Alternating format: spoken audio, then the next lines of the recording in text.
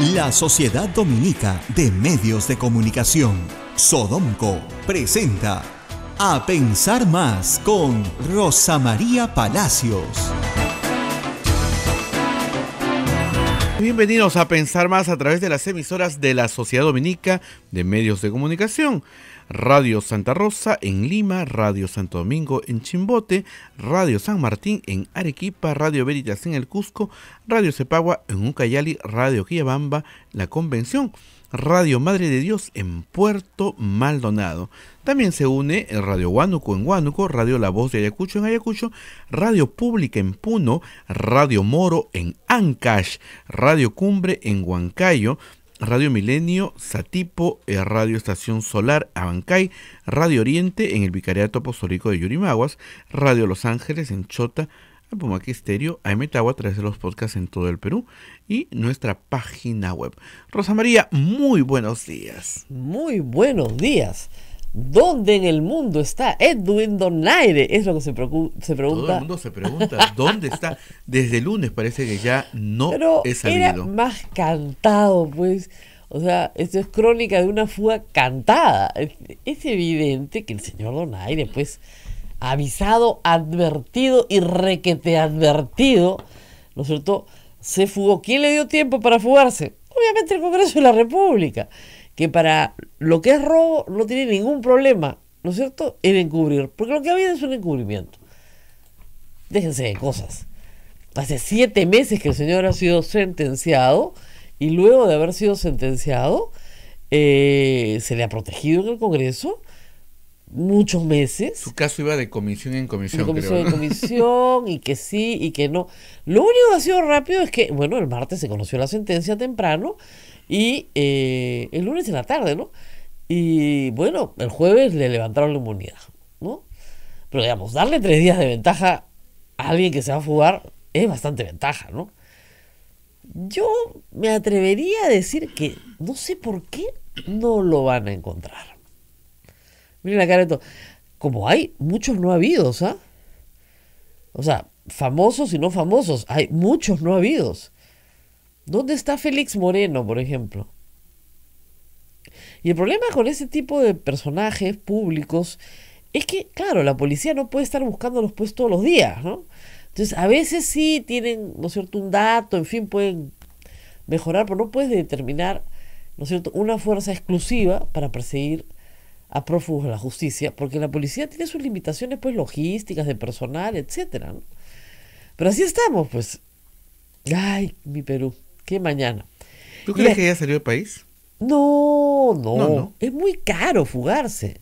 O sea, ayer lo comentábamos con Juan Carlos Tafur, y menos en un país que no es el tuyo. No, tienes que haber armado en estos meses una red. ¿Ya? Y puede estar en Ayacucho, en cualquier lugar donde él haya tenido contacto, sirvió en Arequipa, sirvió por todo el país. Tiene que encontrar una base de apoyo y quedarse ahí, ¿no? Es militar, sabe cómo. Sí, sabe perfectamente cómo hacerlo y tienes que hacerlo, digamos, con tanta anticipación, tienes que hacerlo de una manera en la cual este, pueda lograr alcanzar la prescripción en 5, 6, 7 años. ¿no? Eso es lo que va a buscar. ya tiene una condena. increíble. Condena eh, ya confirmada por la Corte Suprema. Pues no hay nada que hacer. En general, robar gasolina. ¿Qué culpa tenemos todos los peruanos de tener en el ejército oficiales choros? Pues que vamos, que vamos y que los descubrieron. Y además la historia es bastante triste porque fueron descubiertos, no era solamente Donaire, era una bonita colección de oficiales, y fueron investigados dentro de su institución. Y el general Vargas Vaca que los investigó, una vez que eh, sacan del Ministerio de Defensa a Alan García al ministro Alan Wagner en ese entonces, inmediatamente hacen, hacen comandante general del ejército a Donaire y luego que lo hace el comandante general del ejército, el señor Donaire hace todo lo posible para que en los meses siguientes se logre la baja de el general Vargas Vaca. O sea, lo mandan, como dicen, al huesero. Y de ahí finalmente lo traen al Lima y le piden su renuncia. El que los había investigado a todos. Entonces, para el 2008 ya el señor tenía resuelto el problema, pues. El problema es que el caso no se cerró. Y a pesar de que hostigaron a la fiscal, el relato lo tiene muy claro eh, Gustavo Orriti, en una columna que ha publicado, que ha republicado, es una columna del 2016, el caso se reabrió en el 2020, el, caso entró a juicio oral en el 2016. Y ahí los agarraron a todos. Claro, justicia que tarda no es justicia, pero vaya que vaya que hubieron este y además lo curioso es pues que a Donaire lo hizo comandante general del ejército Alan García sabiendo que robaba gasolina ¿Qué tal? Ladrón que roba, ladrón que roba ladrón, pero esa es una cosa de locos, ¿no? En fin. Bueno, ayer ha habido un interesante, hubiera sido, ¿no? Un interesante debate en el Congreso sobre un tema no resuelto en el Perú que necesita de su particular atención. Más adelante vamos a estar con Romina Mela y por eso lo que les voy a contar es bien importante en el marco de la investigación Lavallato. ¿ya? Pero tienen que acompañarme porque esto va a demandar de ustedes un poquito de atención. Porque no es fácil de entender, ¿ok? Incluso cuando te lo enseñan en la universidad, no es fácil de entender, ¿ok? Miren, nosotros tenemos un librito muy importante que se llama Constitución. Yo lo uso a veces, ¿no es cierto? Yo sé que los aburro, pero es la forma más fácil de entender, por eso lo, cito. Sería bueno que todos tuvieran una en casa, ¿no? Ahora, si no se la quieren comprar y tienen una computadora facilísimo, ponen Constitución en Google y está ahí. Y miren, hay un artículo en la parte del Poder Judicial, ¿no es cierto?, que se llama el artículo que fija los derechos y principios de la función jurisdiccional. Es decir, la justicia se rige por algunos principios, ¿ok? Y esos principios son bien importantes, por ejemplo, la presunción de inocencia, ¿no es cierto? La independencia de la función jurisdiccional, etcétera, etcétera. Entonces, ese artículo dice lo siguiente. Atención. Artículo 139 de la Constitución. Son principios y derechos de la función jurisdiccional.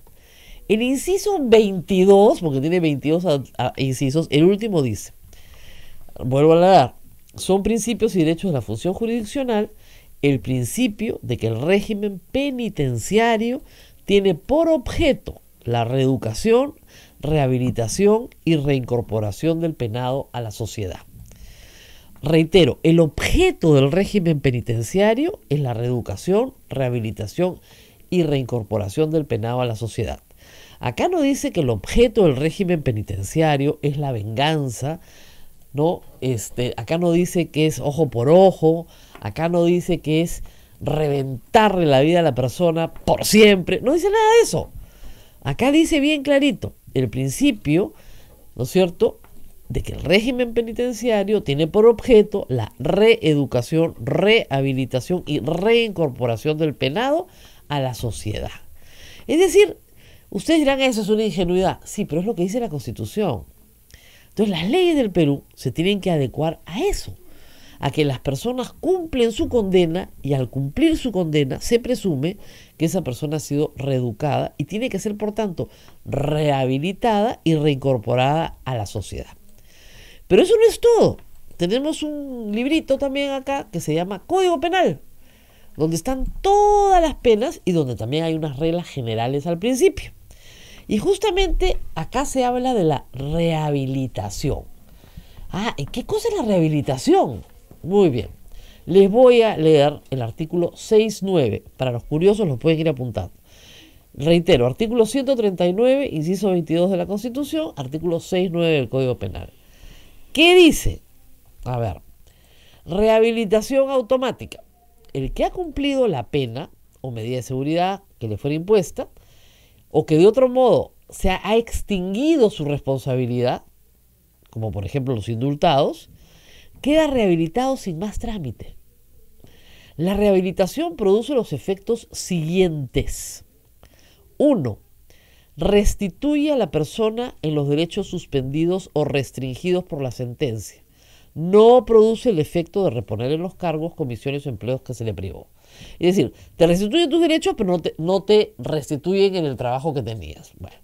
Y dos, y escuchen bien, la cancelación de los antecedentes penales, judiciales y policiales.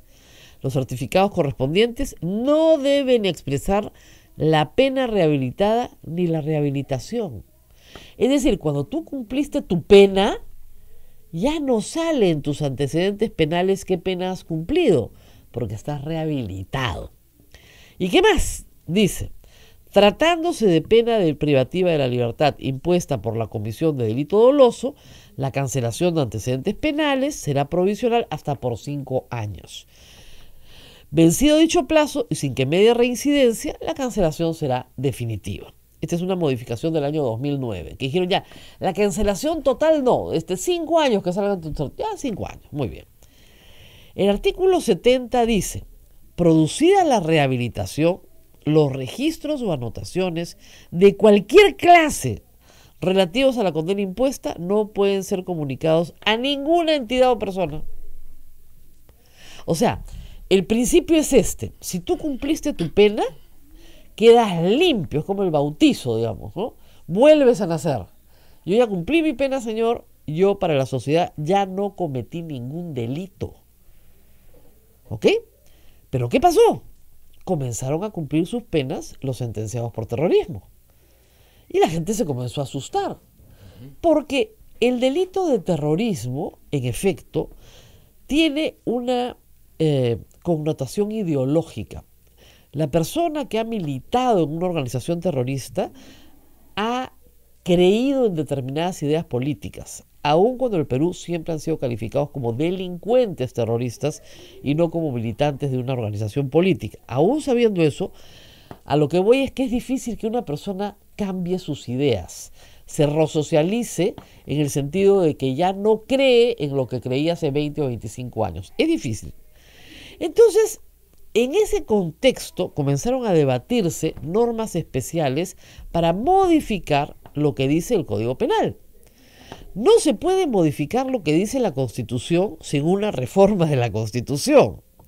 Pero sí se puede modificar lo que dice el Código Penal porque el Código Penal es una ley y otra ley modifica la ley. Muy bien.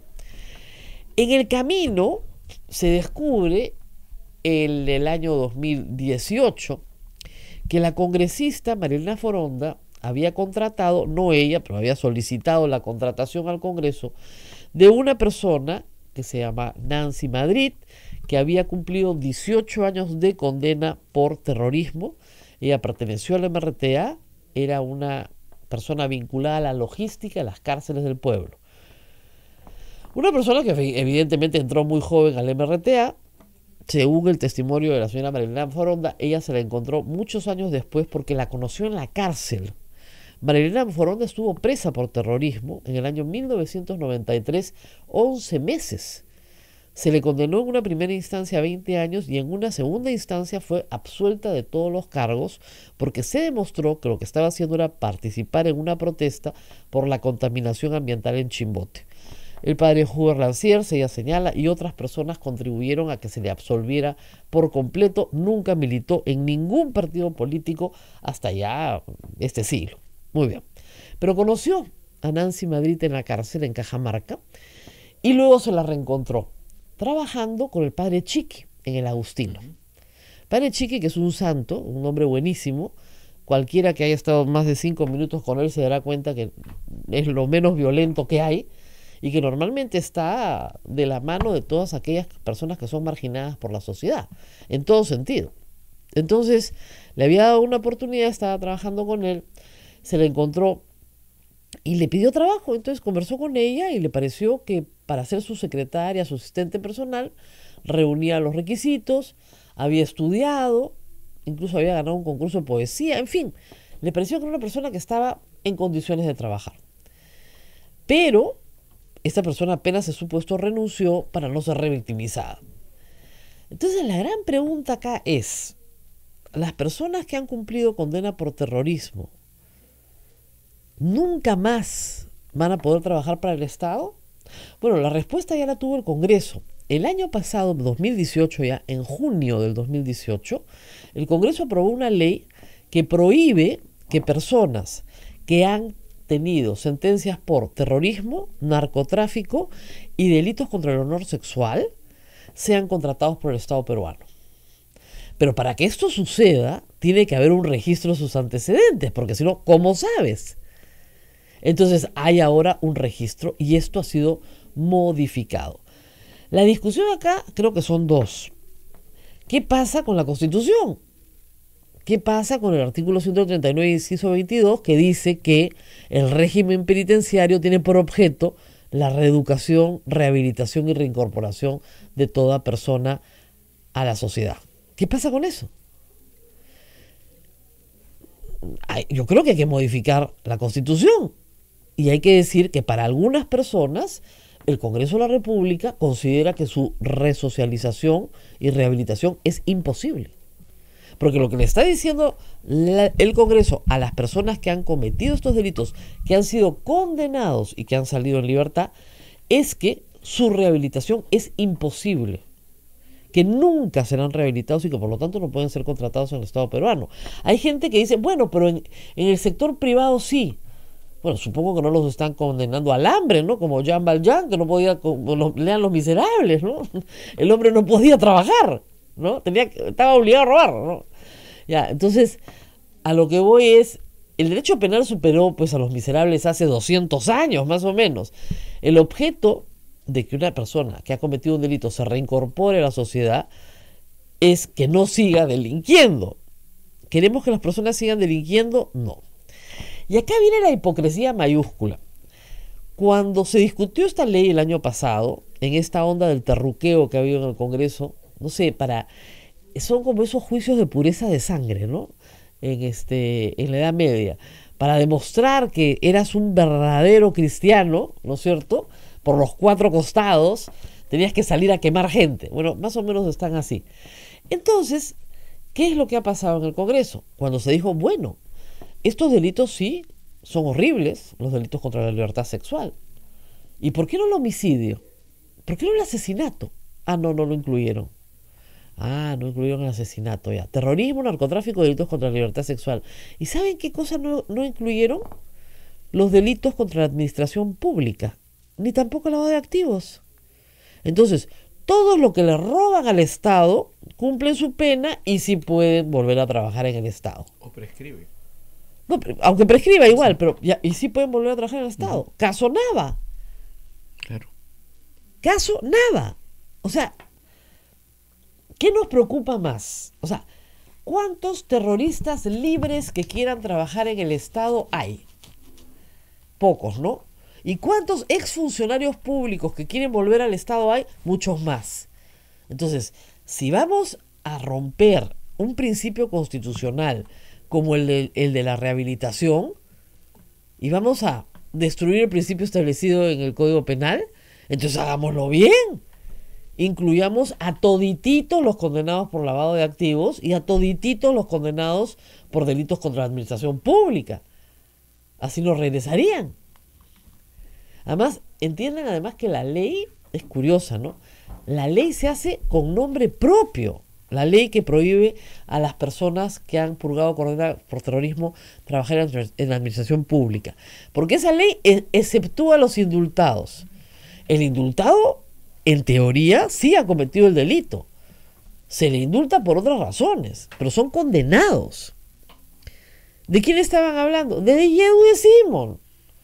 Yehude Simon no solamente ha sido congresista, ha sido presidente del Consejo de Ministros y gobernador regional. Ha tenido los más altos cargos de la administración pública después de haber purgado nueve años de condena por terrorismo. Y él alegó siempre, y yo le creo además, que era inocente. Pero supongamos que se hubiera arrepentido. Y él dijo que estaba muy arrepentido de las cosas que había dicho, no de las que había hecho, por cierto. Entonces, ¿ven la hipocresía que hay detrás de todo esto? Acá y ayer la han suspendido a la señora Foronda 120 días. No ha cometido ningún delito. Algunos colegas mías consideran que contratar a una persona este, que purgó condena por terrorismo es, eh, es una falta ética. Yo no veo la falta ética.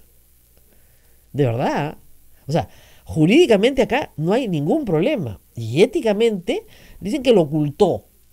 Yo le pregunté eso anoche porque estuve con él. Usted lo ocultó. Yo no lo oculté. A quien me lo preguntaba se lo decía. Toda mi bancada lo sabía. legalmente no había ninguna objeción, porque esa persona no tiene antecedentes penales de acuerdo al Código Penal. Eso es lo que dice el Código Penal. No, es que no se puede contratar a un terrorista. ¿Y por qué se puede contratar a un ladrón? ¿Por qué se puede contratar a un ladrón que ha robado al Estado? ¿Por qué se puede contratar un asesino? ¿Ah? Porque hay algunos que tienen muertitos en el Congreso también. ¿Y por qué podemos tener congresistas que tienen antecedentes de juicios y de condenas en agravio del Estado? Eso sí podemos.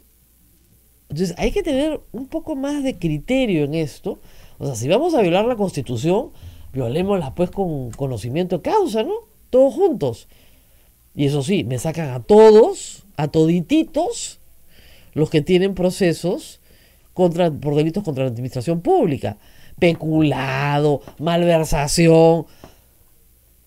Porque esos son contra la administración del Estado. O sea, voy a contratar en el Estado aquellos que han cometido delitos contra el Estado. Increíble. ¿eh? Pero en fin, como digo, explicar el derecho todos los días es una derrota. Batalla tras batalla. No, la gente lo entiende. No creo. ¿No? No, no. Te roco, te rocas al paredón. Te estoy, te estoy tratando de explicar los principios constitucionales y penales y qué sé yo. Pero el problema es ese. O sea, hay una población. Los que han purgado condena con el paso del tiempo, de los años y de las décadas, irán muriendo. Y al final no quedará ninguno. Los que tienen perpetua, perpetua. Pero lo que tú no puedes hacer es condenar a perpetua a los que no tenían cadena perpetua. Porque estás diciéndoles, ustedes, este grupo humano, nunca van a poder hacer algo que sí podían hacer antes de cometer este delito. Nunca. Eso es perpetua. Es una inhabilitación perpetua. La inhabilitación más grave que tiene la Constitución para un funcionario público es de 10 años. A, Fujimori solo se le pudo poner inhabilitación por 10 años, nada más, es la más grave que hay. Y a los que han cometido delitos y han purgado su pena, perpetua. Inhabilitación perpetua. eso no tiene ningún sentido. Y se aprobó el año pasado en el Congreso con gran entusiasmo con una prensa, creo yo, aterrorizada de decir, oigan, sentémonos dos minutos a conversar de este tema. Porque si tú explicas la norma, te dicen, ah, tú eres proterruca. Y como la gente le tiene miedo al estigma, como digo, parecen juicios de pureza de sangre. Yo vi dos entrevistas ayer que yo estaba con la boca abierta. Decía, no puedo creer, pues si las normas dicen otra cosa. Y las normas están bien pensadas. La constitución del 93 repite un principio de la constitución del 79 y la del 93 la hicieron los fujimoristas. O sea, que no me digan a mí que es la constitución de Abimael Guzmán. Dice claramente que reeducar, resocializar, llámenlo como quieran, rehabilitar, es el principio y el fin del régimen penitenciario. Bueno, vamos a la pausa y rezamos con más. regresamos con Romina, Romina Mela. que ya está, con nosotros. Ella es periodista de IDL Reporteros. Recién traída de Curitiba. Y sí, ella tiene toda la información. Ella lo tiene todo. Bien, volvemos. Sodomco, Sociedad Dominica de Medios de Comunicación. Continuamos con A Pensar Más a través de la Sociedad Dominica de Medios de Comunicación. Rosa María Palacios. Bueno, antes de empezar con nuestra invitada, dos cositas ¿no? que me decían acá. Nadie ha ido a preguntarle a la señora Nancy Madrid qué piensa del MRTA, esta supuesta feroz terrorista que se metió al Congreso. Y vi una entrevista anoche en que decían, no, pues, pero meterla al Congreso, el MRTA quería volar el Congreso en el 96, o en el 95 en realidad. Sí, pero estamos en el 2018, la mujer cumplió 18 años de condena. Y como digo, si estaba trabajando con el padre Chiqui, no creo pues que tuviera intenciones de volar nada ni de tomar nada. Salvo que pensemos que las personas no cambian nunca. Si creyéramos eso, no hubiéramos votado por Alan García. Digo yo, ¿no? Reitero, Nava no hubiera sido secretario de Palacio después de haber estado preso por el caso Mutual Perú. Y podríamos, y siguen firmas. Entonces hay que ser un poco más coherentes. No, es que es un peligro. ¿Qué peligro puede ser una mujer que purgó una prisión en Cajamarca durante 18 años que está completamente desvinculada? Porque, además, reitero, nadie le ha preguntado nada a esta mujer que salió corriendo al Congreso porque nadie quiere ser revictimizado. Marilena Foronda me dijo, a mí me están regresando al año 93. Marco Miyashiro parándose en el Congreso con una sentencia contra ella en la mano, justamente lo que dice el Código Penal que está prohibido, porque además ella fue absuelta. No le encontraron en la superior ninguna responsabilidad. Pero tuvo que purgar 11 meses de condena, como muchos peruanos lamentablemente, y la juzgaron en un tribunal sin rostro, etcétera, etcétera. O sea, sin ninguna garantía del debido proceso. Entonces, y un ex general de la policía se para a gritarte que tú eres una terrorista en el Congreso. hay que tener cuidado con la barbarie. ¿eh? O sea, la histeria, ¿no? Es como digo, decía hace un ratito, esos juicios de pureza de sangre no contribuyen a nada bueno. Y hay que tener mucha paciencia con esto, entender el sistema penitenciario, ¿no es cierto? Pero en fin, eh, eh, todo el mundo me dice que hay que leer este em, mucho porque los corruptos leen más. Es verdad. Está aquí con nosotros Romina Mela, periodista de IDL Reporteros. Ella ha estado en Curitiba informando ahí en la puerta sin parar. Y, era divertido acá en Lima. Yo hice un programa, ¿no es cierto? Solo siguiendo eh, los tweets de Romina Mela, de Graciela Villasís, de César Romero, de Daniel Llovera. Entonces, entre los cuatro iban componiendo este mosaico de declaraciones. Y coincidían, ¿eh? siempre coincidían. O sea, no había, no había mucha. Creo que tenían la misma fuente, no sé por qué supongo. Pero en fin. Gracias, Romina, por estar con nosotros. Muchísimas gracias por la invitación y buenos días a todos los oyentes. Bueno, IDL, ah, vamos a empezar por lo feo, porque siempre es bueno empezar por lo feo. Eh, ustedes, como IDL y Gustavo Gorriti en particular, han sufrido un ataque durísimo desde mucho antes del suicidio de Alan García, por el mismo Alan García, desde Muéstrenlo pues imbéciles sin parar, y, y Gorriti Soro, Gorriti Toledo, la mafia judía. la mafia judía, un montón de agravios, y luego de la muerte de Alan García, en su velorio, Gorriti asesino, o sea, el APRA lo señala a ustedes como los responsables del descubrimiento de esta información que los perjudica severamente. Entonces, usted es la culpable.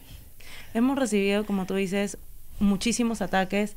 En realidad, recientemente y desde el año pasado, desde que publicamos sobre la conferencia de Alan García y sobre el pago de los 100 mil dólares y que Odebrecht pagó a través de la Caja 2, hemos recibido muchísimos ataques. Y antes del Fujimorismo, cuando revelamos todo lo relacionado con Keiko Fujimori, pero específicamente sobre el APRA, hemos tenido ataques de los mismos líderes apristas. Eh, en redes sociales una cantidad de troles. Eh, distintos tipos de amenazas, intentos de hacer manifestaciones o plantones en la redacción. Yo salía para acá una mañanita y bajé corriendo porque había tanto policía delante y dije, ¿qué pasó? Digo, no, no, señora, estamos protegiendo las instalaciones. Ah, ya. Sí, porque había información que iban a ir a la redacción, pero no solo eso, sino a protestar, sino también eh, a quemar la redacción, en el sentido de que nosotros y muchos eh, en redes sociales eran unos mensajes realmente que hablaban de, eh, por ejemplo, había uno, un, hashtag de muerte a Gorriti, por ejemplo, o que éramos los responsables, y, y también además haciéndole seguimientos eh, de dónde, dónde estábamos o dónde estaba Gustavo, todo en redes sociales, ¿no? Y, y hablando de una cuestión de linchamiento. Entonces, por supuesto que... Había una preocupación. Había una preocupación y de hecho, y agradecemos muchísimo a la ciudadanía y en general a todas las redes de apoyo de periodistas y de periodismo, tanto a nivel en el Perú como a nivel internacional. Afuera ha habido mucho apoyo también. Y lo agradecemos enormemente. Y, y, por supuesto, y eso tiene que ver con el avance decisivo de las investigaciones. Ahora, ¿esto ha perjudicado de alguna manera el trabajo de ustedes o yo conozco a Gustavo, sé O sea, nosotros nos hemos... reír un poco y bueno. Les, le hemos tomado atención, obviamente, a todos esos asuntos, pero nosotros hemos continuado con la investigación porque eh, tenemos un compromiso con eso y con avanzar, avanzar, avanzar y seguir revelando y publicando todo lo relacionado con este caso. Y creo que lo que ha pasado eh, estas últimas semanas, primero con las revelaciones o las declaraciones de Jorge Barata primero, vinculado con los pagos de sobornos y los pagos ilegales vinculados con García, y luego la confirmación o la confesión de Atala, de Miguel Atala, indicando que en realidad la plata que le depositaron en la banca privada de Andorra era plata realmente para García y que él entregó en cash el dinero a veces en Palacio de Gobierno, a veces en su casa. Lo que es Entonces, increíble una es que primera todavía, confesión. todavía hay apristas que dicen que no, que eso no prueba nada. ¿Qué más quieren? Quieren los números de los billetes. Yo creo que ha sido un avance muy importante porque no solamente es la confesión de Jorge Barata y de otros ex ejecutivos de Odebrecht que además han presentado documentos, sino lo que ha pasado eh, con Natal es que es la primera vez que uno de los implicados en el caso Lavallato en el Perú y además vinculados con el entorno de García, lo acusa directamente de haber recibido dinero de Odebrecht. Y no solamente es Miguel Atala, ya José Antonio Nava Mendiola, hijo de Luis Nava Guiberta, el ex secretario de la presidencia, eh, ya en un proceso para colaborar con la justicia, ha señalado de que sí, en realidad confiesa y acepta que su papá recibió dinero y Maletines. de dinero de Odebrecht, que a veces iba a recoger a Barata y que lleva y que le llevaba el dinero al papá, o que él mismo iba a, A a- recoger las a recoger el maletín y hacer las entregas de dinero, y que sabía que eran pagos eh, para su padre. Claro, es que maletín, o sea, un maletín, cuando uno estudia un poco de corrupción, un maletín deportivo, digamos, entran unos 700 mil dólares. Medio millón a 700. Porque aunque usted no lo crea, señora, señora, la plata pesa. ¿ya? Entonces, efectivamente hay que transportarla. Y Nava exigía efectivo. 20 mil, 30 mil dólares sí los puedes llevar en un paquete. O sea, son paquetitos, eso es más caleta. ¿ya? Que Atala se los llevara. Y Atala ha dicho que va a presentar pruebas. Entonces debe haber registro de su ingreso a Palacio, debe haber registro de su ingreso a por lo menos el Instituto de Gobierno de la San Martín, tal vez.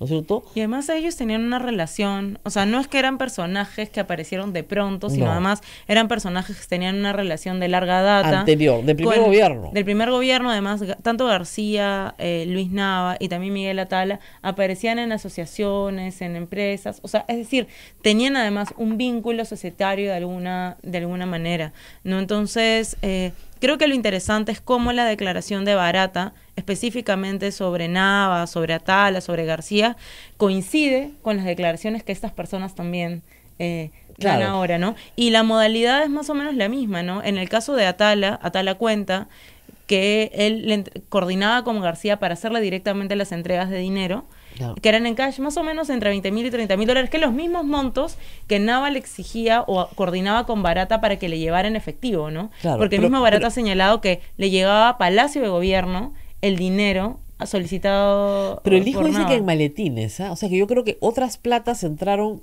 Sí, de más distintas... de distintas formas. Ahora, lo que dijimos desde el principio ustedes también es que Barata todavía tenía mucho que contar y que lo de ah, lo peor se lo guardó para el final. O sea, lo de Alan García lo tuvieron muy cerrado hasta que sueltan lo de la conferencia, que ustedes encuentran esta documentación, pero luego ustedes sacan ese domingo lo de Chalán. Sí, lo de Chalán. Y Y, lo de Bandido, que eran de los codinomes de Luis Nava Guibert y del hijo José Antonio Exactamente. Y eso fue una semana antes de que Barata hablara. Como unos ocho días antes de que Barata Sí, hablara y cuatro días antes de que Alan García se suicidara. Sí. Esto fue un domingo. Ustedes tienen un, un tino para sacar las cosas, ¿no? Domingo o tres de la mañana. No, no, puede dormir por culpa del reportero, caracho. Ya. ¿Por qué no ponen un día para sacar las cosas? Ya los jueves salen. No, no, no. Es así cuando Gorriti termina de corregir, ahí.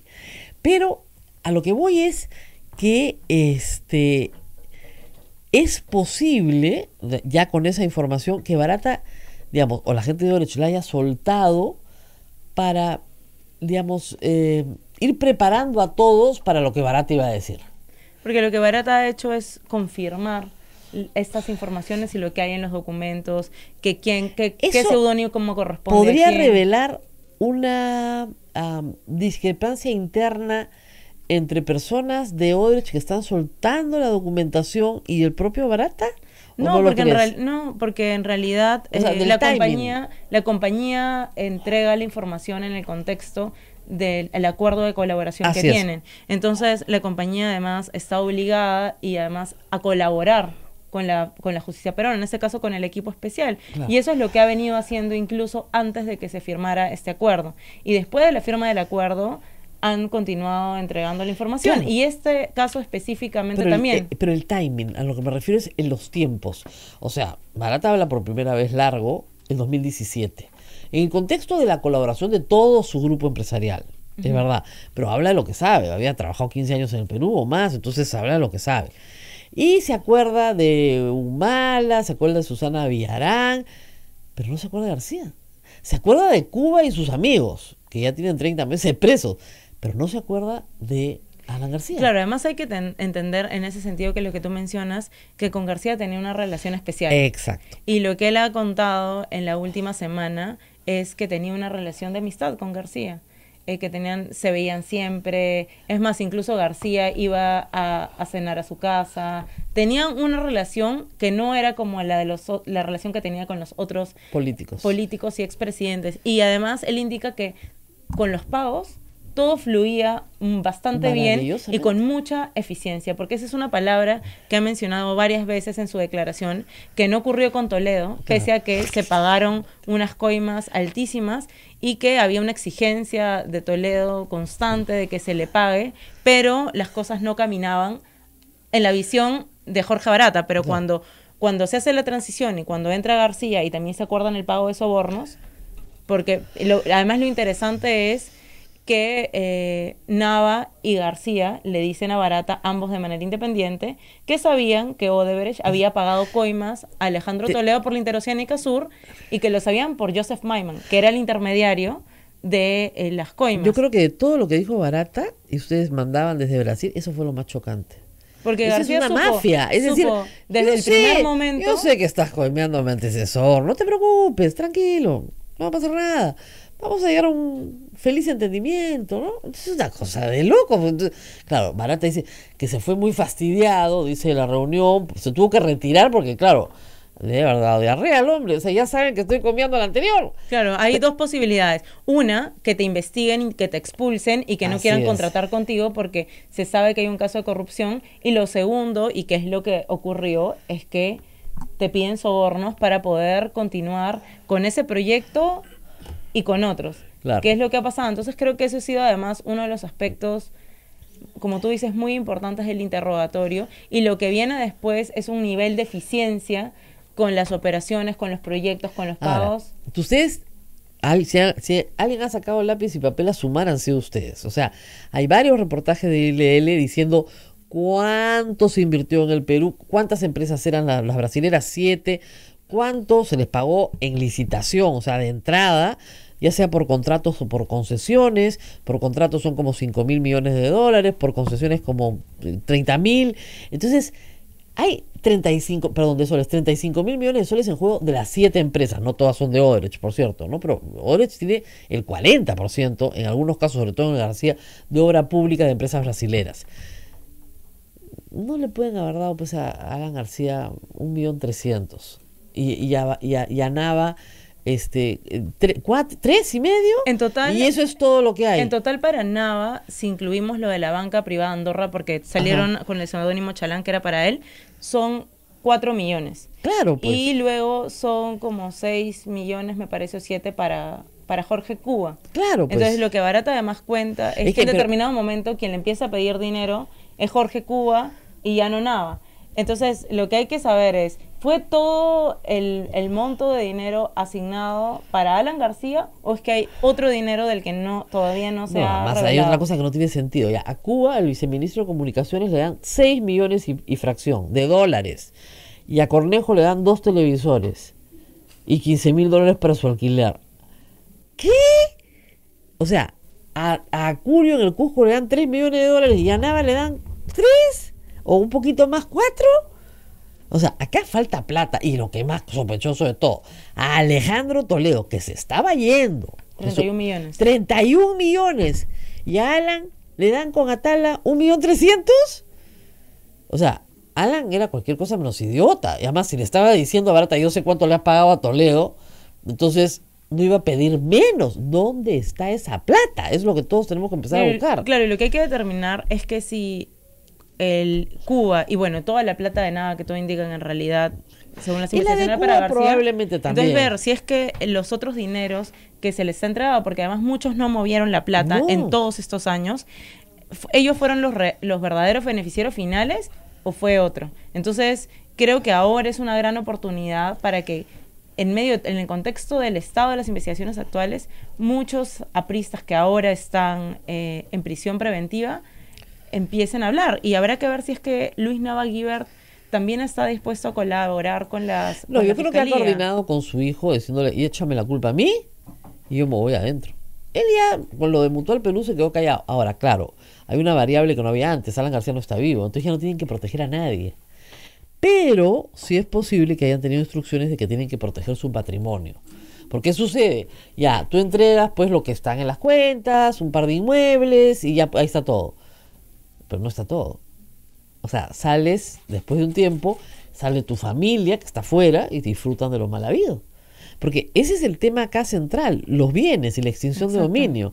O sea, nadie en su sano juicio va a creer que por una obra, una, nada más que una, que fue la interoceánica, le van a pagar 31 millones de dólares a Alejandro Toledo y por todas las obras que se hace durante el gobierno de García, que la, ustedes han visto en sus cifras, ¿no?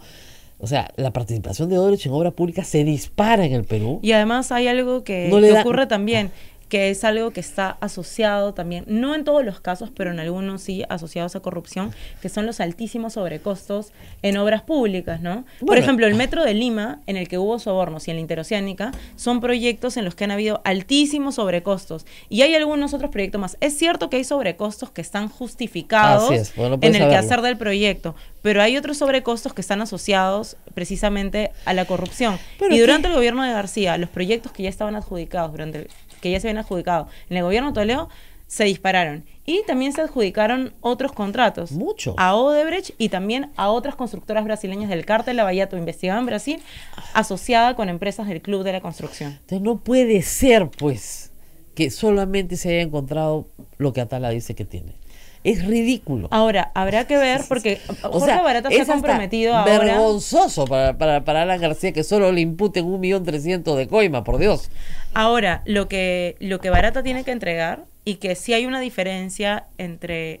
O sea, él dio su primera de- declaración como parte de la delación premiada en diciembre del año 2016 a los procuradores brasileños. Así es. Y en ese momento se levantó una data del sector de operaciones estructuradas. Así es. Pero ahora estamos en el 2010 en mayo del 2019. Entonces, lo que él ha dicho en el contexto de sus declaraciones es que han levantado más información del sistema y que son 4.000 folios y que van a ser entregados con otros pagos de sobornos. Es por eso que él ha contado en la declaración de que en realidad fueron 31 millones Alejandro Toledo. Claro. Porque han encontrado más información. Porque se creía que con Toledo eran 27. ¿te acuerdas? 27. Pero él dice que le hemos dado 4 millones en efectivo. Y eso yo se lo creo al señor Barata, no tiene por qué. En, ese, en eso sí, lo que creo es que omite, porque de verdad, o sea, pónganse a pensar, no tiene sentido alguno que por una obra que es la Interoceana le paguen 31 millones de dólares a, a Toledo y que de García se encuentren los cuatro de Nava, ¿no es cierto? Que, ojo, a Nava se le paga por la interoceánica. Lo que dice el señor Barata es que al principio de su colaboración con ellos, que fue al principio del régimen, se le paga 3 millones de dólares en efectivo para que facilite la interoceánica. Sí, pero también, lo, y lo que dice Barata en las declaraciones es que en realidad, cuando se le, si bien es cierto, necesitaban una cosa puntual con la interoceánica para que el proyecto avanzara, Ajá. es que esa, la plata que se le estaba empezando a pagar a Nava, en realidad era para facilitar una serie Todo. de cosas. Todo. Todo, la apertura. Pero digamos, pero no era la plata del metro. O sea, Nestre dije, a mí me pide Barata que se pare 24 millones de dólares. Barata dice, claro, pero de ahí 10 se fueron en impuestos, doleiros, costos financieros, armar las offshore. O sea, todo eso costó 10 millones de dólares. Poco excesivo su costo financiero, pero digamos que es así. Él decía, 45, 55% se van en coimas, 45% en gastos para la coima. Puede ser, muy bien. Pero igual son 14 millones de dólares. Y tenemos en el, en el tramo 1 y en el tramo 2 son 8 millones para la banda del MTC, Cuba y sus amigos, 8 millones y fracción. 1.300.000 para Tala, ya, suman 10 millones de dólares. ¿Dónde están los otros 4? Porque los de Nava ya se los habían entregado. Claro, ¿Dónde están? entregados antes. Exacto, ¿dónde están? ¿A quién le dieron los otros 4 millones de dólares? Y la pregunta que se cae madura es, de los 8 que tenía Cuba en su haber, ¿cuál era su alita y cuál era la alita del jefe? ¿Y quién era jefe? Ahora, lo que he dicho... ¿Cornejo? ¿Alan García?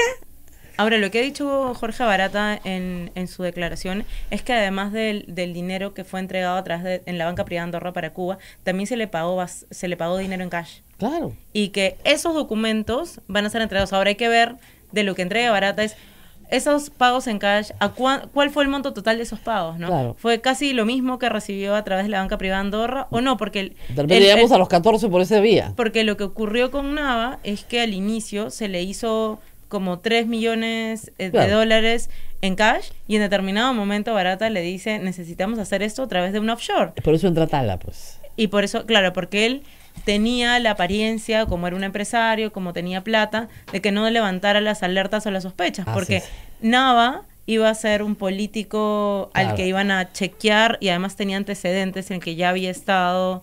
Eh, y por eso, entonces, falta, el secretario del presidente o sea, ¿por qué tendría que tener un offshore? Entonces se busca Tala para que lo pueda hacer. Así es. Vamos a la pausa y regresamos porque hay que hablar bastante todavía de transportes Don Reina y otras cosas más. Y por supuesto la pregunta que siempre hacen, ¿por qué se la hablan de Alan García? vamos a la pausa y regresamos. Sodomco, Sociedad Dominica de Medios de Comunicación.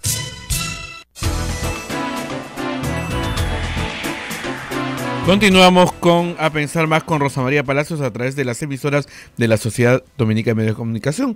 En Lima, Radio Santa Rosa, Chimbote, Radio Santo Domingo, Arequipa, Radio San Martín, Cusco, Radio Veritas, Ucayali, Radio Cepagua, La Convención, Radio Quillabamba, Puerto Maldonado, Radio Madre de Dios, en Huánuco a través de Radio Huánuco, Ayacucho, Radio La Voz de Ayacucho, Puno, Radio Pública, Ancash, Radio Moro, Huancayo, Radio Cumbre, Satipo, Radio Milenio, Abancay, Radio Estación Solar, eh, eh, Yurimaguas, Radio Oriente, Chota, eh, Radio Los Ángeles, Apumaque Estéreo y AM Tawa a través de los podcasts en todo el Perú y la página web. Rosa María. Cuando, cuando empezamos a hacer esta entrevista siempre, siempre viene. ¿Por qué no hablan de Toledo? ¿Por qué no hablan de Villarán? Ya sabemos que son trolls y ya sabemos que son apristas y ya sabemos que no solamente son apristas, sino son fujimoristas. Es decir, personas que no quieren que se hable de determinado tema. No es que les interese en realidad Toledo y no es que les interese Villarán que a nosotros sí nos interesa, no es que les interese Humala, no, lo que les interesa es que no hables de Alan García.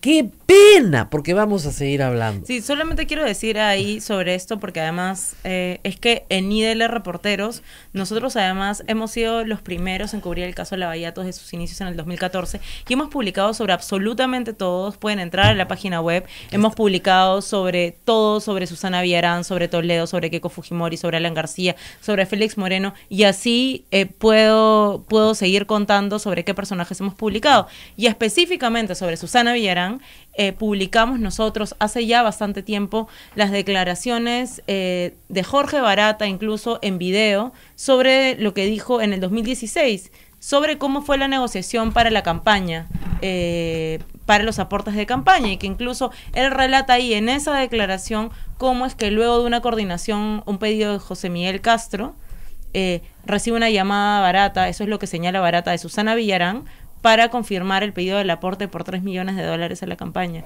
Nosotros hemos publicado eso y algunas otras cosas más vinculadas eh, con ella, en el caso de Lavallato, sobre todos en realidad, ¿no? Entonces, creo que la corrupción, y creo que es algo en que todos coincidimos, no distingue ni partidos políticos, eh, ni absolutamente nada. Eh, y en el caso de Lavallato, básicamente todos han estado involucrados de alguna u otra manera, ya sea con aportes o financiamiento de sus campañas políticas, con la adjudicación de obras públicas, con el pago de conferencias, consultorías, etcétera. Así es. Ahora, que quede claro entonces que se han cubierto a todos y que si tuvieran un poquitito de paciencia entrarían a verlo. También hay que decir algo. El caso de Lavallato explota en Brasil en 2014 con la primera publicación de Bella, que fue muy buena de la revista, y que tú dijiste, ¡pum! Acá hay, esto es muy grande, y en un principio, claro, involucraba a Odebrecht, pero la eh, investigación se abre contra todas las constructoras. Y obviamente, 16 compañías del cártel que les llamaron el cártel de Vallata. Exactamente, que eran todas las contratistas de Petrobras. Y a mí me consta, porque lo hemos hecho varias veces, y la frustración de que no se estuviesen cubriendo esos temas en el Perú. 2014, 2015, incluso, y yo lo voy a decir con mucha pena, todo el 2016. Acá recién se comenzó a cubrir por todos los medios el escándalo de Beato cuando Odebrecht confiesa ante el Departamento de Justicia de los Estados Unidos en diciembre de 2016. Yo no puedo olvidar cuando, en el caso del AMSAC, cuando Susana Villarán estaba en el poder y Castañeda quería entrar, ustedes publicaron la famosa conversación de ábrete una botella de champán. Sí, claro, con, la conversación de WhatsApp entre Leo Piñeiro, que acaba de confesar la semana pasada como parte de su colaboración con la justicia peruana, y Giselle Segarra, una exfuncionaria de la gestión de Castañeda. Ustedes publicaron eso y al día siguiente yo pensé, y me acuerdo de haberme reído con Gustavo, yo pensé pues que esto iba a estar en todas las portadas, iba a ser noticiero. Ni una palabra pero ni una palabra en ninguna parte. Dice, ¿qué pasó? Había una especie de consigna en prensa escrita, lamentablemente es así, de no hablar de este tema, hasta que Odebrecht no reconoció. Y a partir de ahí, sí, bueno, claro, era un, ya, era un huaico, pues no podías dejar de decir todo lo que estaba pasando. Pero, sí es verdad que ustedes salieron solos.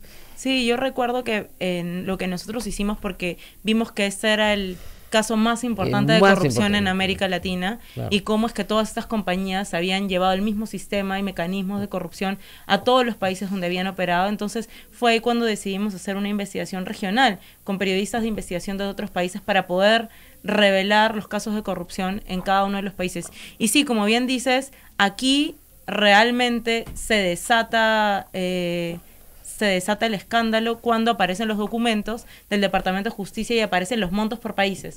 Los montos confesados por Odebrecht y de haber pagado sobornos en Perú, en Venezuela, en Argentina, en República Dominicana, etcétera. Entonces, ahí es cuando eh, ya hay toda una cobertura. Ya más, claro, ya. Pues, ahora, el, monto, el monto confesado se quedó corto, pues, este, rápidamente. 29 millones. Claro.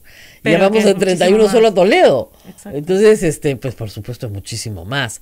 Porque hay otro, otra forma de medirlo. Es decir, Odebrecht pagaba en Brasil entre el 1 y 3% de la obra si ven coimas. Si nosotros calculamos entre el 1 y 3% de estos 35 mil millones de soles, estamos hablando de otras cantidades, pero de otras cantidades. Estamos hablando, imagínense, de 35 mil millones, estamos hablando de 3.500 millones. De todos, ¿ah? o sea, estoy hablando del universo total de las siete empresas, mil millones de dólares. Y de eso Odebrecht debe tener el 40%. Estamos hablando de 400 millones de dólares no de 31. Lo que suma ahorita Odebrecht más o menos no llega ni a los 50, 60 millones de dólares. ¿Dónde está el resto? O sea, yo creo que Barata no ha contado. Basta y sobra para las condenas. ¿ah? Ojo, para condenarlos a todos no hay problema porque el peculado puede ser de un sol. ¿ya? Pero el, el, el asunto central ya no es la cuantía, sino dónde está el resto de la plata.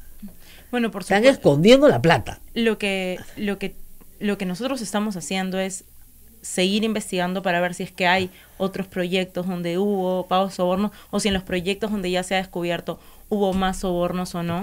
Pero creo que estamos en una fase del caso Lavallato que es importante porque en el caso concreto de Odebrecht, o sea, se ha podido conocer que básicamente todos han estado involucrados. Como tú bien dices, hay información de sobra en cada caso para una posible condena en términos judiciales, pero además ha abierto este, este acuerdo de colaboración que se ha suscrito con la compañía que no existía ese modelo acá, sino es un modelo que funcionó en Brasil y que se ha aplicado a Perú, está permitiendo de que otras compañías puedan empezar a colaborar. Porque, ojo que el caso Lavallato no es Odebrecht. No. Es un grupo de empresas brasileñas que eran del grupo de las 16 que estuvieron investigadas y condenadas y sus condenados en Brasil. club de la construcción. Exacto. De mega construcción. Que vino acá y de esas 16, siete compañías trabajaron aquí y se asociaron a su turno con el club de la construcción de las empresas locales. Entonces, que además... Con las mismas prácticas. Con las mismas prácticas. Entonces, es, es que el caso Odebrecht sin duda ha sido la empresa más importante, pero no ha sido la única. Y creo que prueba de ello y el avance de las investigaciones y que van a aparecer muchísimas más revelaciones vinculadas con otros pagos de sobornos a otros políticos, es por ejemplo la colaboración eh, que está empezando a hacer con Leo, con Leo Piñeiro y que eso, por ejemplo, abarca específicamente, bueno, varias obras, pero, específicamente la gestión de Luis Castañeda. Lógico. Ahora, este, el tema ahí es que no hemos sabido nada. ¿Qué pasó con mis peritos reporteros? de lo que iba a hablar Leo. Muy buenos, muy buenos de Godrej, pero no lograron infiltrar, pero nada. De lo que iba a hablar Leo Piñeiro, ya avanzado en parte su declaración, son em, de varios proyectos. Por ejemplo, es sobre aportes de campaña, específicamente sobre eh, Susana Villarán y Ollantumala Eh, luego también está el proyecto eh, Línea Amarilla, eh, que, se, que se dio con la gestión de Castañeda. Se modifica Se con Villarán. Y luego regresa se, con Castañeda. Y se vuelve a modificar eh, con Castañeda, digamos, a su concepto inicial del proyecto. Además hay que tener en cuenta que ese fue un proyecto de iniciativa privada de la compañía y era el proyecto de mayor envergadura que había tenido hasta ese momento la Municipalidad de No, Lima. además que eh, comprometió el 60% de los recursos del peaje Exacto. por 20 años. O sea, no es Luego broma. tenemos, por ejemplo, también sobre eh, el Hospital Lorena en el Cusco y varios otros proyectos en centro- carreteras. No, y el centro de convenciones acá en, también. en Javier Prado. Todo eso, lo- eso lo hizo OAS. Todo. Entonces, No son y buena cosas. parte de los proyectos de OAS se hicieron también durante el mandato de Ollanta Humala. Exacto. Entonces no hay que olvidar el- la relación del financiamiento de campañas políticas con las cuestiones de obras públicas. OAS en algunos casos ha trabajado sola, en otras, en, en consorcio Con- con, con- las otras, como las otras compañías. Hay otro dato que creo que es importante y relevante y creo que pasó un poco desapercibido dentro de todas este, estas revelaciones de Barata, es que en determinado momento Barata dice que en el caso de Toledo, él sabía o conocían de que Camargo Correa también pagó sobornos por la carretera interoceánica sur, pero por el otro tramo. Y ese está conectado directamente con otro caso más antiguo, pero importante, que es el caso Castillo de Arena. Ah, que no sí. sé si lo- nuestros oyentes nos recuerdan que hubo una que se- investigación que- que previa se- a que se- Lavallato. Que se cae como un castillo de arena, que se, que se pierde, porque el Tribunal eh, Supremo en Brasil establece que como la operación se había hecho con una fuente anónima, no podía continuarse la investigación. Y la investigación tenía papeles, que sean- Documentos y documentos y planillas donde figura Toledo. Exacto, que hay- y eso está vinculado con Camargo Correa y con funcionarios que trabajaron aquí en Perú. Ahora, eh, creo que otra de las cosas que es importante, y haciendo el paralelo entre Odebrecht y OAS, así como eh, Odebrecht tuvo el sector de operaciones estructuradas, OAS también tuvo Sí. un sistema o un departamento que por supuesto no tan sofisticado como el de Odebrecht, pero que tenía las mismas funciones. Y ya eh, hay confesiones y delaciones de ejecutivos de OAS que trabajaron en ese sector, que han contado cómo fueron, cómo se hicieron los pagos de sobornos, cómo la se lavó el que dinero. entender que si. Lula está preso es por OAS, por Piñera, por lo que dijo. Entonces va a ser una confesión importante y grande, hay mucho ahí por explicar, pero faltan, ahí van dos, faltan cinco más. Claro, estas dos son las más importantes, pero Camargo Correa también es bien importante. Ahora, lo que es genial de la declaración de Barata es que parece que Toledo le pedía a Barata que le que lo ayude a cobrarles a los de Camargo y Correa, ¿no? Hay una parte así como eh, nos bueno, dijeron que no podíamos tener el tramo porque era mucho, pero que entrara Camargo y Correa, pero que nos ayuden con la gestión. es una cosa de loco, ¿no? Entonces incluso hay, hay frases que recuerda Barata como Paga, pues barata, barata. que le pedía que pague con la insistencia o con Maiman a través de Maiman también. Entonces, Hasta el 2010 le han pagado.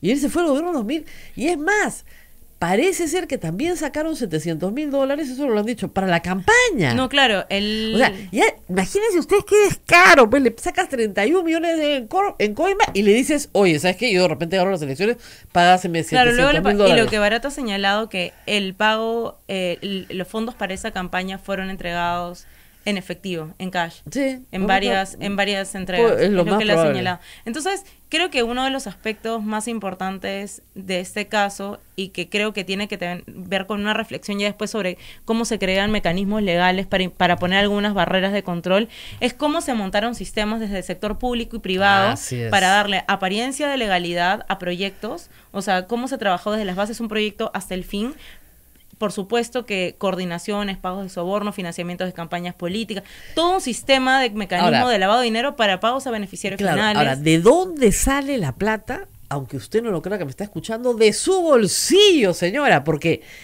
¿qué pasa? La obra pública la paga el Estado. ¿Con qué plata? Con la plata de los contribuyentes. El sobrecosto lo paga el Estado también. Y hasta la coima la paga el Estado. ¿Por qué? Porque de la, del mismo cuero salen todas las correas. Y por eso es que la corrupción le trae a usted pobreza todos los días. Sí, porque no es dinero que salga de los gobernantes, sino sale de los impuestos de todos Así nosotros que somos los ciudadanos. Ahora, eh, tú- yo los invito a que revisen, si quieren además tener una idea de a cuánto equivale qué y qué es lo que como ciudadanos hemos perdido y que pudimos haber tenido si es que- con estos pagos de sobornos o algunos de los altísimos sobrecostos vinculados a las coimas, nosotros eh, publicamos eh, todo lo relacionado con los costos, sobrecostos, arbitrajes y relacionados no solamente con Odebrecht, sino con las constructoras brasileñas que estuvieron acá en el Perú, pero también las empresas del Club de la Construcción. Sí, la misa ya inició, sí, ya sé, ya sé. Nos vamos, nos vamos. Gracias a Romina Mela. Muchísimas gracias por la invitación al programa. Por Uf, podríamos hablar dos horas. Nos vamos y ya, ya sé, lo del PayPal, ya sé. Este, este radio y estos muchachos que me miran viven de la caridad pública, es decir, de ustedes. No nos financia Odebrecht. A mí, cada vez que me escribe alguien, dice, publica la lista de los periodistas que recibieron dinero de Odebrecht. Bloqueado. Ha bloqueado. Eso es bloqueado. Porque presume que todos somos corruptos, bloqueado. Es como que si yo me metiera con usted y dijera, yo presumo que usted es ladrón. No, pues bloqueado. Bueno, acá no. Acá vivimos de la caridad pública. Y mucha gente a la cual agradecemos mucho y nos olvidamos de mencionar. Los padres rezan por ustedes, ¿eh? por todos los que mandan plata. Además, tienen ese. Nadie va a rezar por ustedes como se reza acá. Muy bien. Entonces, entran a la página web de Radio Santa Rosa, ¿no es cierto? Ahí donde dice PayPal, entran y ponen la platita que ustedes quieran. Poquito, ¿ah? No, no tiene que ser mucho porque acá, en realidad tendría que ser mucho, pero no tenemos pues cara para pedir tanto. Entonces, lo que usted ponga está bien, pero nos ayuda a vivir. Y obviamente ya viene, porque en agosto viene la rifa. ¿no? Mm, para diciembre. Ya, sé, porque la rifa, la, rifamos el carro en diciembre, pero digamos, desde agosto vendemos tickets. Pues, la rifa más vendida del mundo. Pero necesitamos su colaboración para que la radio se siga manteniendo. ¿Ok? Entonces, este. Eh, de verdad, les agradecemos un montón. De ahí está saliendo un poquito de plata que ayuda a que los chicos tengan para el almuerzo, pues. De ahí sale para la movilidad y el almuerzo. Muy bien. Nos vemos, hasta el mañana. lunes. Hasta el, lunes, Rosa María. viernes, es viernes. chao, chao. Hasta aquí. A pensar más con Rosa María Palacios. Este programa fue producido por la Sociedad Dominica de Medios de Comunicación, Sodomco.